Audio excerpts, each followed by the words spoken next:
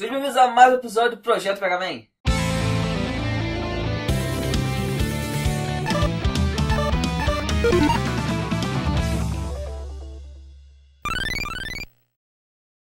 Olá pessoas, sejam bem-vindos a mais um episódio do nosso Projeto Mega Man e mais duas fases da Fortaleza do Dr. William. Hoje vou falar um pouquinho sobre a criação do jogo, algumas decisões de level design e o porquê dele ser o menos favorito do Cage na Fune. É sempre bom lembrar sobre a criação de Mega Man 2, né? O jogo foi um grande sucesso e muito disso é por conta da equipe que acreditava na franquia, que acreditou no segundo jogo e deu sangue para que ele acontecesse. Mas infelizmente não foi 100% da mesma equipe que trabalhou em Mega Man 3. Para começar, o Akira Kitamura, líder e supervisor do Keiji Inafune, deixou o projeto. Embora o 2 tenha sido um grande sucesso, aproximadamente um ano passou até começarmos a trabalhar no 3, simplesmente porque nosso eterno líder largou o emprego. Nós recebemos um novo líder para o 3, mas ele realmente não entendia Mega Man do jeito que o seu antecessor entendia, o que nos resultou em algumas dores de cabeça.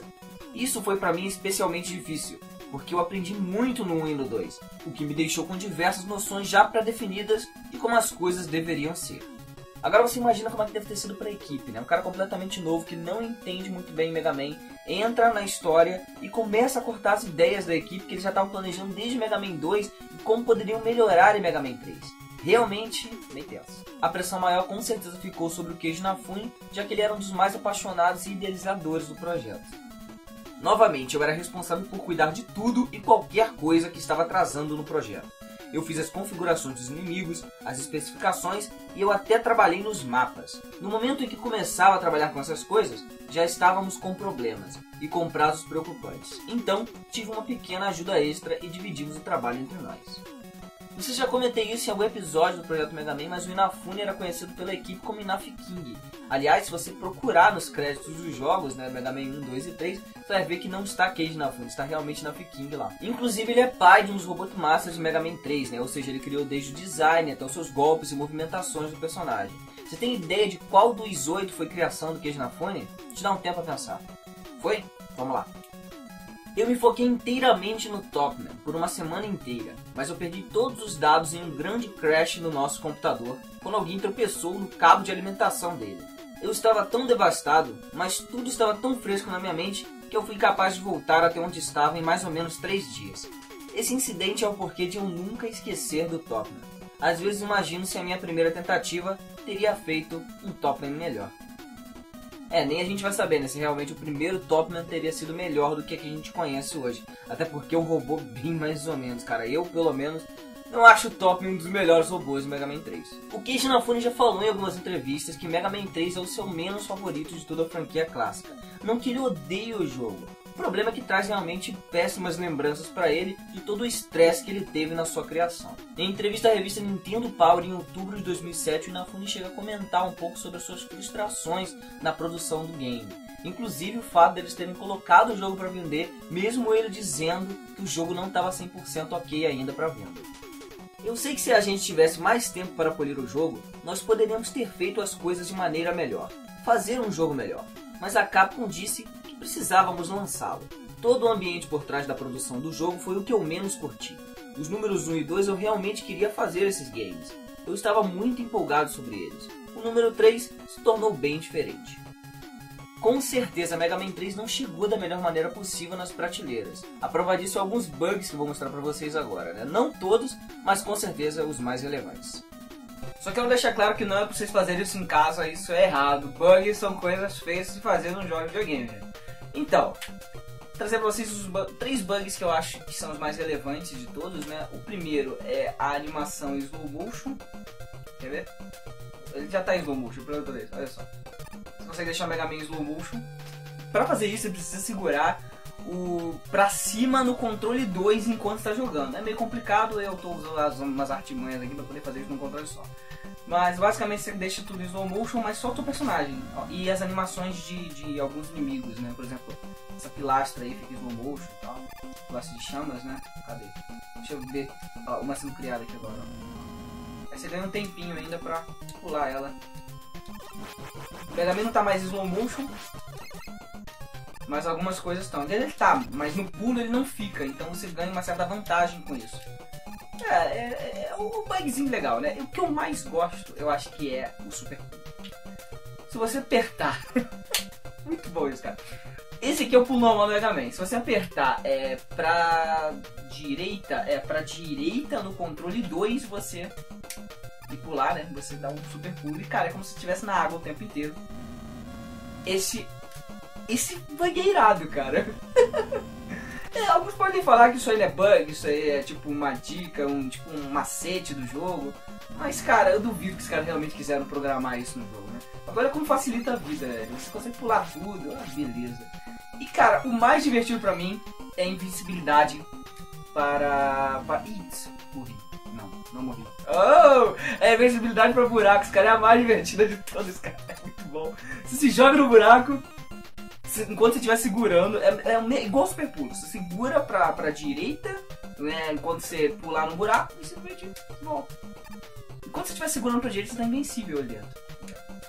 Você fica brincando de ficar pulando buraco. é muito bom isso, cara. Mas é isso, cara. É o super pulo, o slow motion e o, nossa invencibilidade para buracos e os pulos infinitos. Cara, aquelas partes com rush que você tem que ficar voando no rush jet, imagina isso aqui. Isso aqui é, facilita a tua vida, né? Mas é isso, eu queria só mostrar esses bugs pra vocês. Como vocês viram durante a gameplay, eu não usei nenhum deles. Então eu estou limpo aqui, estou usando Mega Man 3 de maneira correta e decente. Então é isso, galera. Vamos voltar para o nosso projeto Mega Man de hoje. Mas também não vamos cair em cima de Mega Man 3 como se ele fosse um monstro, né? Não é bem assim. Ele é um jogo excelente, como vocês puderam ver ao longo da temporada. É claro que ele tem seus problemas como trackback, o fato de você lutar contra todos os robôs máximo Mega Man 2 de novo, mas você colocando isso de lado e pensando nas coisas que o Mega Man 3 trouxe pra gente, ele realmente é um jogo válido. Inclusive, uma delas é o Slide, que mudou completamente a forma de se jogar Mega Man. A partir do 3 nós adicionamos a ação de deslizar, o que significava que os controles perderiam um pouco da sua simplicidade, mas fiquei feliz em não incorporarmos a função de abaixar. Se o inimigo pula em você e você fica, ah não, você pode deslizar por baixo dele e dar um tiro em suas costas. Desse modo, deslizar é uma ação que tinha um bom balanço entre ter uma tática ofensiva e defensiva. Outra parada que eles adicionaram por definitivo em Mega Man 3, e a gente já tinha né, testado alguns protótipos dele em Mega Man 2, foi o Rush, o sidekick mais carismático de Mega Man e com certeza o mais útil. Os itens 1, 2 e 3 tinham capacidades interessantes, mas não tinham vida. Então, baseado na ideia de que todo anime de heróis tinha um cachorro leal como sidekick, nós misturamos o capacete do Mega Man e a paleta de cores dos itens 1, 2 e 3 e criamos o Rush. Na minha opinião, Mega Man 3 é um jogo excelente. Ele nos trouxe o Rush, o Slide e o Breakman. E com certeza isso tudo enriquece bastante o Lord Mega Man, que como vocês já puderam ver né, em três temporadas, ele existe e é mais rico do que vocês imaginavam. Bom, fiquem aí com mais duas fases da Fortaleza do Dr. Willy e o final do nosso penúltimo episódio da terceira temporada do Projeto Mega Man. Vamos lá então para mais um, mais duas fases de Caçador Vamos começar então com a nossa Shadow Blade, que é uma das poucas armas que eu tiro pra cima. E já detona esse carinha aqui. É bem mais fácil que você tentar ir com o Rush Coil desviando das balinhas aproveito falar no Rush Coil, vou pegar ele aqui, botar ele no lugar certo, que sempre é uma boa, né? E pra cá. E desse lado aqui tem as recargas. Sim, vocês repararam, mas não voltou zerado. Tipo assim, o que eu gastei nas duas primeiras fases de energia, ele mantém para essa parte. Então eu tenho que, tenho que fazer um, um, gerenciamento de recursos muito bom aqui, senão tá ferrado. Você vai precisar de tudo isso aqui cheio pra daqui a pouco. eu não acredito. Ele fica andando aqui no buraco ali, quando é pra andar, ele não anda, né? Deixa eu ver, deixa eu ver o que eu carrego agora. Um Rush Core pode ser, um Rush Core. Obviamente precisa dar uns pulos aí. Tá. Consegui, agora tá mais fácil. Beleza, daqui a gente vem pra cá. Não. Espera ele jogar a bolinha, pula de novo. Cápsulas de energia, bom. E aproveitar que com o Rush Coil aqui. Ah, nessa parte aqui. Magnet Missile. O bicho tá ali. tá escondido, né? Você não consegue acertar ele ali. Já daqui já. Nossa, fez uma. Nossa, maldita granada. Esquece ela, nem gasta o poder do. Magnetic Missile tá. Ah não! Tô encolado pelas granadas. Vem por baixo. Sai mais dois. Eu nem precisava na realidade, mas. Tá bom. Vou deixar esse bicho aqui. Não vale a pena arriscar com você. Você, você é um saco. Tô piscando na cabeça. Ah, cara, eu sou péssimo pra vazar baixo desse bicho. Eu podia matar ele? Podia, mas o sacrifício. Eu vou levar pancada do mesmo jeito, então. Essa parte das plataformas é tensa, né? porque você. É bom você sempre fazer, se você for fazer os pulinhos, faça em cima da parte que tem chão, que você não corre tanto risco de se ferrar. Então vamos lá. Hum, deixa eu ver. Vamos pegar aqui primeiro o Rush óbvio. Vou lá pra cá. E eu vou usar o Hard Knuckles pra poder a parede. Vamos ver o que vem. Antes. Cagado? Vamos E eu queria muito que tivesse energia. É, meu sonho não se realizou. Mas a gente consegue pelo menos recuperar os Magnet Missiles. Ok, pra essa parte aqui, Search Snake. Melhor opção. Seja rápido, seja muito rápido. Porque sempre tem os hologramas do Mega pra enfrentar. Isso. O primeiro sempre tá em cima, tá? Então, você pode até matar de primeira se você conseguir. Eu tive sorte, porque era o segundo. Um só funciona. Eu não expliquei porque é muito tensa essa parte. Mas só um deles funciona. Então você tem que correr pro primeiro, sempre o primeiro que começa funcionando, né? Que você acerta e realmente o tiro vai. O resto é tudo holograma. Então você tem que sair correndo lá pra cima, acertar o primeiro e depois jogar com a sorte pra ver qual vai aparecer. Né? Com sorte. Passamos já. Vamos ver então quem eu vou recarregar aqui. Vou recarregar o Search Snake com esses. E o maiorzinho. Cara, Hard Knuckle. Eu vou deixar Hard Knuckle aqui. Eu preciso dela cheia, porque essa fase é aquela fase de Mega Man que a gente já está acostumado. Mas se você já sabe, já sabe. Eu vou seguir nosso caminho porque ainda tem um pouquinho de fase antes de chegar lá. Vamos lá. Quero. Caraca, velho, mas que... esse bicho da pedra é um saco. É um saco, um saco. Ai. Olha! Caraca, isso é muito. É muita sorte ver um negócio desse. Aqui, vou botar aqui. Vou botar Crush Marine aqui. Eu tô quase 100%, velho. Tá ótimo. Vou nem pegar energia, eu não preciso. Vou tomar pedrada agora só pra mim. Olha, é a primeira vez que eu desvio essa pedra. Acreditem se quiser. Acho que eu nunca desvio essa pedra na minha vida. É muito sacanagem, velho. O que, que esse, esse bicho de sucata tá com uma pedra gigante, maior que você na tua direção? É foda isso. Vamos lá, chegamos! Não, isso não é o final da fase. Agora é a fase começa. Essa cápsulazinha já entregou, né? Agora é a hora que a gente enfrenta os oito Robot Master. Vamos lá, vamos pro primeiro. Primeiro. Olha só o Search. Searchman não, Searchman. Quer dizer, o Snake? Caralho, confundi tudo. Ok, o Snake Man eu enfrento ele na mão. Então vou seguir aqui o padrão dele. Porque você se lembra do episódio do Snake? Quando você começa a jogar com ele, você zera, né? Não sei se é fraco contra os Spy. Fraco não, o Middleman, né? Ele é fraco contra o Middleman, eu nem lembrava. Eu sempre enfrentei ele na mão. Foi mais fácil do que eu previa. Vamos então. É porque não tinha o Needleman quando. O Needleman não. Caraca, eu tô, tô botando o nome do personagem, o nome do poder, tá lindo isso. Mas eu não tinha uh, as, as, agulhinhas, né? Que eu joguei, por isso que eu usei matei na mão. Tá, contra o Sparkman, deixa eu lembrar, é, são as Shadow Blades, né? Vamos lá. Eita! Shadow Blade na testa dele, Shadow Blade na testa dele, vai, vai, vai, não para, não para, não para, não para. Isso, garoto!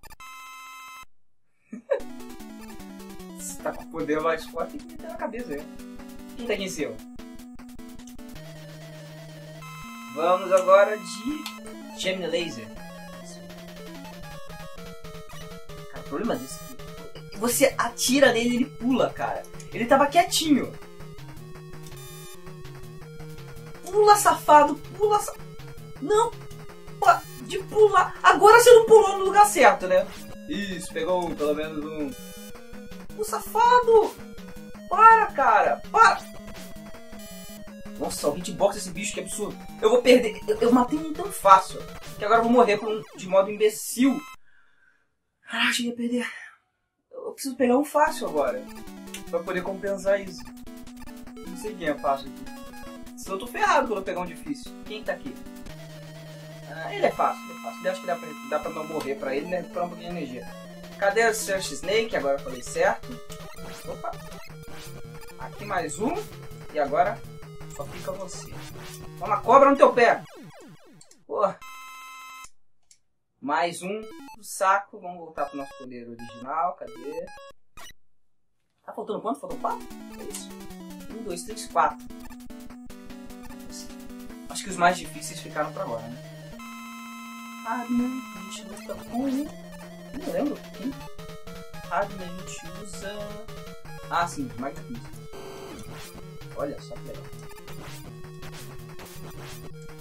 E, cara, eu tô ficando preso, eu tô ficando corralado pra ele. Vou levar todo o soco ali no canto agora. Nossa! Eu gastei tudo, eu disparei tudo que eu tinha em cima do Hardman. Vamos lá. Sobrou quem? Sobrou. Vou pra cá. Foram três. Ah, você é tranquilo, vai levar um soco na barriga agora, cadê? Hard Knuckle. Vem, vem, vem. Ai, cara. Só que eu falei, né? Hum, lá. Mais um, mais um. Acho que mais um mata ele. Ué. Vamos lá. Quem sobrou? Você. Shadowman? Da Shadowman a gente usa o Top Spin. Cadê o Top Spin? Caraca, isso aqui, isso aqui é kamikaze, né, velho? Muito kamikaze. É muito kamikaze. Você sair rodopiando no peito de um robô que atira shurikens não é uma boa ideia. Não sei porquê, cara. Não é meu objetivo não é um jogo de contato. Eu não sei quem bota um poder tipo top spin, cara. Não me curto. Sobrou você que talvez seja mais difícil. Magnet Man, ele é um saco, Magnet cara. Vamos lá, cadê? O, o Spark Shock. Spark Shock. Caraca, bicho enjoado. Ô caraca! Sério, eu vou perder. Ah, cara, até agora eu não morri. Você não vai matar agora, seu safado. Oh! E é isso. Acho que foram os oito, né? Agora a portinha ali atrás tá aberta. Vamos seguir caminho. Tá, vamos ver o que, que eu recarrego aqui. Você vai precisar da Search Snake. Final. E as Hard Knuckles. As Hard então vamos começar com as Hard Knuckles. Hard. Uma vida pra ser feliz. E Search Snakes. Pra completar aqui a nossa sequência, certo? Acho que é isso. Então é isso, galera. A gente fica por aqui mais um episódio do nosso projeto Mega Man. Quando eu passar daqui, a gente vai cair pra porrada. Então eu vou passar só no próximo episódio, senão eu, tenho que parar o jogo daqui e vou continuar jogando daqui na realidade. Então é isso. Se vocês curtiram esse vídeo, deixa teu like aí, se curtiu muito favorita. A gente volta, se tudo der certo, semana que vem com o último episódio dessa temporada. Até mais!